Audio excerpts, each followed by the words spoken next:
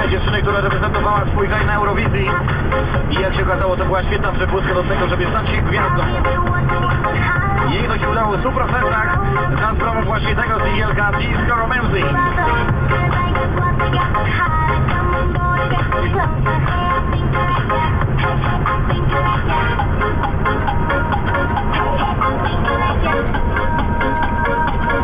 Nigdy Huberto DJ Tomasz. Energiczna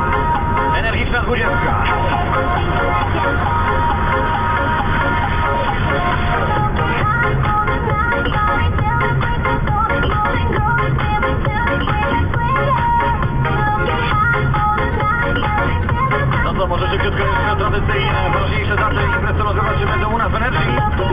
22.10. Aktywny piątek dla wszystkich na wejściu Energy Microber 20. Dzień później Energy Dance Music.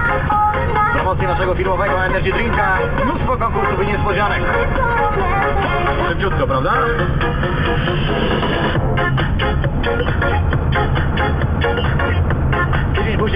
Z ważniejszych i najmocniejszych imprez. Specjalna halloweenowa wersja King of Hardstyle. Meczami specjalnymi u nas będą Enigmato, Soundfighter, Crackman oraz Move i naturalnie rezydenci Energy